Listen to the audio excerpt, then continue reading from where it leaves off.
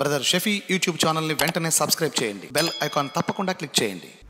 Hello viewers welcome to our channel ఈరోజు మనతో పాటు life coach motivational speaker brother Shafi garu ఉన్నారు. So ఆయన్ని అడిగి ప్రస్తుతం మనం న్యూస్ చూస్తూనే ఉన్నామండి. నిందితుల్ని ఎన్కౌంటర్ చేయడం జరిగింది. దీనిలో ఉన్న వాస్తవ కోణాలు ఏంటనేది ఆయన మాటల్లోనే అడిగి తెలుసుకుందాం. హలో సార్ హలో సార్ చెప్పండి సార్ అంటే మీకు తెలిసిన వాస్తవ కోణాలు ఏంటి? ఎన్కౌంటర్ ఏ టైంలో ఏ విధంగా ఎప్పుడు జరిగిందంటారు? అంటే యాక్చువల్గా ఇప్పుడు పోలీస్ ఆఫీసర్ సజ్జనార్ గారు ఏదైతే రివీల్ చేశారో అంటే ప్రెస్ మీట్లో క్లియర్గా చెప్పారు ఏం జరిగింది అన్నది. ఫోర్ డేస్ తర్వాత వాళ్ళు అయితే పోలీస్ కస్టడీ కోసం తీసుకున్న తర్వాత వాళ్ళు చేస్తున్న ఎంక్వైరీలో ఎగ్జాక్ట్గా ఏం జరిగింది ఎప్పుడు ఏం జరిగింది అది తెలుసుకునే క్రమంలోనే అక్కడ మొబైల్ ఫోన్ ఎక్కడ దాచిపెట్టారు ఆ సిచ్యువేషన్ ఆ సీన్ రీకన్స్ట్రక్షన్ కోసము ఆ ప్రాంతానికి తీసుకెళ్ళడము ఆ ప్రాంతంలో వెళ్ళిన తర్వాత అక్కడే ఏదైతే అండర్ పాస్ ఉందో ఆ ప్రాంతంలోకి వెళ్ళి అక్కడ ఉన్నటువంటి సిచ్యువేషన్లో ఆ ని- నలుగురు నింది- నిందితులు కూడాను వీళ్ళ పోలీసుల మీద దాడి చేయడం అనేది జరిగింది. ఎప్పుడైతే దాడి చేశారో దాని నుంచి రక్షణ కోసము వాళ్ళ మీద అటాక్ చేయడం జరిగింది. పోలీసుల ఆత్మరక్షణ కోసం ఆత్మరక్షణ కోసము చేయడం జరిగింది. ఇంకా మనకు తెలిసిన విషయాలు ఏంటంటే వాళ్ళు ఇచ్చిన రిపోర్ట్ ప్రకారంగా పోలీస్ ఆఫీసర్ చేతిలో నుండి రివాల్వర్స్ కూడా గుంజుకొని ఫైరింగ్ ఓపెన్ చేశారు. ఎప్పుడైతే ఫైరింగ్ ఓపెన్ చేశారో ఆత్మరక్షణ కోసం వీళ్ళు ఎన్కౌంటర్ చేయాల్సినటువంటి సిచ్యువేషన్ వచ్చింది. ఈ విధంగా నలుగురు నిందితులు కూడా అక్కడే స్పాట్లో చనిపోవడం జరిగింది. ఇది మనకు తెలిసినటువంటి ఇన్ఫర్మేషన్. ఓకే. సో ఇది ఎంతవరకు కరెక్ట్ అంటే ఏం చెప్తారు మీరు? ఇది ఎంతవరకు కరెక్ట్ అంటే ఎన్కౌంటర్ అన్నది కరెక్ట్. ఎలా? ఆత్మరక్షణ కోసము వాళ్ళు ఎన్కౌంటర్ చేశారు. వాళ్ళు కౌంటర్కి వెళ్ళి ఇచ్చిన ఎన్కౌంటర్. వాళ్ళు కనుక ఎన్కౌంటర్ చేయకపోతే వీళ్ళే చనిపోయారు పోలీస్ ఆఫీసర్సే చనిపోయేవారు. అంటే ఇక్కడ ప్రజలు చూస్తున్న ఏంటంటే దిశ విషయంలో ఏదైతే రేప్ చేసి చంపేశారో దానికి గాను పోలీసులు చంపారా? అంటే ఇక్కడ మనకు క్లియర్ అర్థమవుతుంది. పోలీసులు అక్కడ జరిగిన ఆత్మరక్షణ కోసమే షూట్ చేశారు తప్ప అక్కడ జరిగినటువంటి వాళ్ళు ఇంతకుముందు చేసిన క్రైమ్కి గాను ఇక్కడ అనుకుంటారు జరగలేదు.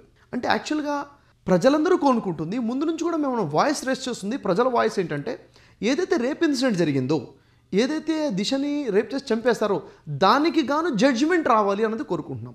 జడ్జిమెంట్ ఏంటిది? ఏదైతే రోజులు గడిచాయి ఇప్పటివరకు కోర్టులో అన్ని ఎంక్వైరీలు జరిగిన తర్వాత జడ్జిమెంట్ వీళ్ళకి మరణశిక్ష. అది షూట్ చేస్తారా? ఉరికమ్మ ఎక్కిస్తారా? యాజ్ పర్ జడ్జిమెంట్ వాళ్ళు నలుగురు చనిపోయి ఉన్నట్లయితే అప్పుడు ఖచ్చితంగా మనం చెప్పొచ్చు న్యాయం గెలిచిందని చెప్పేసి. అంటే దిశ విషయంలో దిశకి జరిగినటువంటి అన్యాయానికి గాను న్యాయం అయితే జరగలేదు ఇక్కడ. ఎన్కౌంటర్ కౌంటర్కి ఎన్కౌంటర్ జరిగింది. ఆత్మరక్షణ కోసం పోలీస్ డిపార్ట్మెంట్లో ఉన్నటువంటి అక్కడ నుండి పది మంది కాప్స్ వాళ్ళ రక్షణ కోసం చంపారే తప్ప దిశ కోసం జరిగిన న్యాయం ఏంటంటే ఒక పెద్ద ప్రశ్న అలాగే మిగిలి ఉంది ఓకే. బట్ వాళ్ళ దేశం మొత్తం దిశ కోసమే న్యాయం జరిగింది అనుకుంటున్నారు. బట్ మీరు కొత్తగా ఒక పాయింట్ రైస్ చేస్తున్నారు. ఒక చట్టం లాంటిది వస్తే కానీ దిశకి న్యాయం జరగదు అనే ఉద్దేశంలో మాట్లాడుతున్నారు. అంటే ముఖ్యంగా ఏంటంటే సార్ అవును. అంటే ఇక్కడ ఏంటంటే ఆ నలుగురిని చంపడం ఉద్దేశమా లేక రేపిస్ట్లని చంపడం ఉద్దేశమా? ప్రజలందరూ వాయిస్ రేస్ చేస్తుంది మేమంతా కోరుకుంటుంది రేపిస్ట్లని చంపాలి అన్నది. ఇక్కడ ఈ నలుగురు పారిపోయే ప్రయత్నంలో పోలీసుల మీద చేసిన దాడికి వ్యతిరేకంగా ఆత్మరక్షణ కోసం ఎన్కౌంటర్ చేసి చంపారు. మనం కోరుకుంటుంది ఏంటంటే యాజ్ ఎ రేపిస్ట్గా తనకు శిక్ష పడాలి అన్నది. ఒకవేళ వాళ్ళు రేపిస్టులు కాబట్టి వాళ్ళకి ఉరి శిక్షనో మరణ శిక్షనో పడి అది అమలులోకి వచ్చినట్లయితే రేపిస్టులు అందరి కోసం అమలు ఉండేది. అవునండి. ఇప్పుడు ప్రజల వాయిస్ ఏంటంటే ఇప్పుడు టెంపరీ హ్యాపీనెస్ ఇప్పుడు ఏదైతే ఉందో టెంపరీ హ్యాపీనెస్ వాళ్ళు చనిపోయారు తప్పు చేసిన చనిపోయారు. వాస్తవానికి తప్పు చేసే విధానం చనిపోయిందంటే చనిపోలేదు కదా. అంటే రేపిస్టులందరికీ శిక్ష ఉందా? యాక్చువల్గా జరగాల్సింది ఏంటంటే జడ్జిమెంట్ వచ్చి ఉండాలి. ఏమని?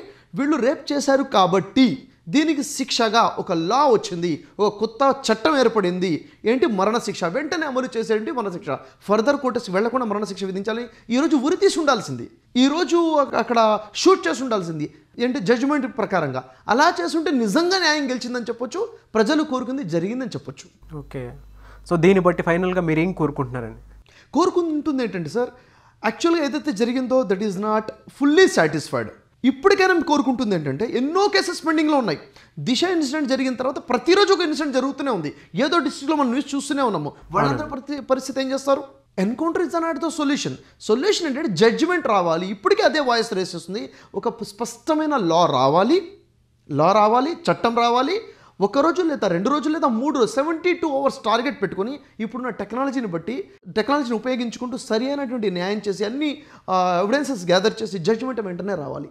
ఈ జడ్జిమెంట్ అనే లా రావాలన్నది మేము కోరుకుంటున్నాము. ఎందుకంటే ఒక దిశకు మాత్రమే కాదు దిశ లాంటి అనేక మంది అబలలు అనేకం ఇప్పుడు శ్రీహిత ఉంది. శ్రీహిత ఇన్సిడెంట్ ఏం చేద్దాము? నిర్భయ కేసు ఏడు సంవత్సరాలు అయిపోయింది. నిర్భయ నిందితులు ఇప్పుడు కూడా అలాగే ఉన్నారు.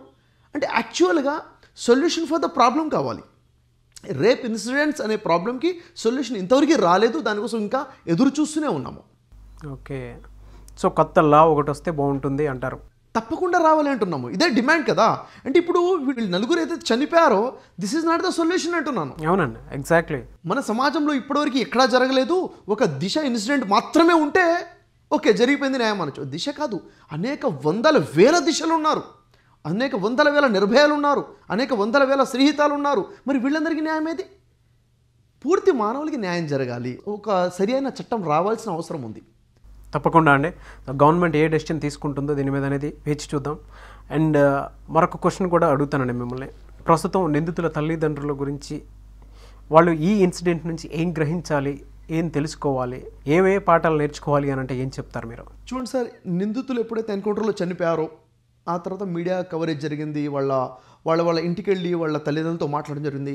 అది చూస్తుంటే వాళ్ళ బాధ వాళ్ళ ఏడుస్తుంటే ఒకటే అనిపించింది. చాలా పెద్ద గుణపాఠం దాగుంది అక్కడ. వాళ్ళ కోసమే కాదు ప్రతి తల్లిదండ్రుల కోసం గుణపాఠం ఉంది. ఏంటది? పిల్లల్ని ఎలా పెంచాలి అన్న గుణపాఠం ఉంది. ఇంట్లో ఒక తప్పు చేసినప్పుడు అక్కడ మనం భయపెట్టి ఒక దెబ్బేసి ఆపినట్లయితే మరో తప్పు ఇంటూ చేసే అవకాశం లేదు. అతని ఇంట్లో భయం లేకుండా బయటికి వెళ్ళిన తర్వాత భయం లేకుండా చిన్న చిన్న తప్పులే క్రైమ్స్గా క్రైమ్సే పెద్ద క్రైమ్స్గా మారి ఉండి అవకాశం ఉంది. కాబట్టి ఎప్పుడైతే ఇంట్లోనే దండించి ఇంట్లోనే సక్రమంగా ఇంట్లోనే డిసిప్లిన్లో ఎప్పుడైతే తల్లిదండ్రులు పెడతారో పేరెంటింగ్ అనేది చాలా ఇంపార్టెంట్ ఈరోజు పేరెంటింగ్ అనేది చాలా ఇంపార్టెంట్ పెద్ద పెద్ద చదువులు చదువుకున్నటువంటి తల్లిదండ్రుల పిల్లలు కూడా క్రైమ్స్లోకి వెళ్ళేటువంటి సిచ్యువేషన్ చూస్తున్నాం. డ్రగ్ అడిక్షన్ అనేసి రకరకాలుగా. సరి అయిన పేరెంటింగ్ లేదు. తల్లిదండ్రుల యొక్క పెంపకము ఎలా ఉండాలి? లేదు. లేకపోతే ఈరోజు వారి వారి కడుపుకొచ్చిన వారు స్వయంగా డైరెక్ట్గా తప్పు చెప్పినా ఈరోజు శిక్ష అనుభవిస్తున్నారు వాళ్ళ తల్లిదండ్రులు. ఆ బాధ అనుభవిస్తున్నారు. అలాంటి బాధ అనుభవించకుండా ఉండాలంటే పెంపకం అనేది సరిగ్గా ఉండాలి. వారిని చిన్నప్పటి నుంచి పెంచే విధానం ఉంటే ఆ పిల్లలు పెద్దవారే సార్థకాలుగా తయారవుతారు. కాబట్టి పిల్లల పెంపకము ప్రతి పేరెంట్స్ కూడా నేర్చుకోవాల్సిన గుణపాఠం ఇక్కడ ఉంది.